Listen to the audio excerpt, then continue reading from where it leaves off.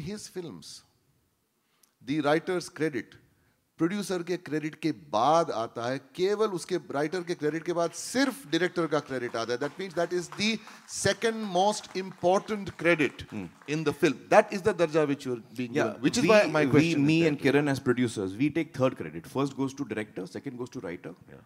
हम producers third credit लेते हैं. Hollywood yeah. में क्योंकि मुझे मुझे लगता है कि the writer is Is the infinitely more important than me because मैं कहानी नहीं लिख रहा हूँ।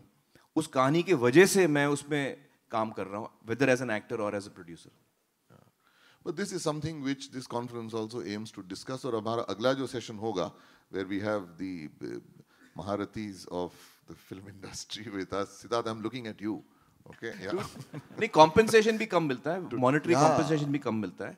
और उसकी इसकी कई वजह हैं इसकी कई वजह। एक दौर था जैसे जब सलीम जावेद साहब लिख रहे थे तो उनको I mean, they were one of the stars, uh, you know, of that time. And uh, but by and large, I feel that writers have not been uh, getting their due, uh, and they should. They should. That is something that we have to address. Yes, yes, 101. We have to address. I mean, we have, have been speaking yes, about it separately yes, in any case. Yes, we and we are been. working together to address yes, that, and we should. We, we are, most we definitely should address that. We have to. We yeah. have to ensure that we actually incentivize. Yeah. Okay. Yeah.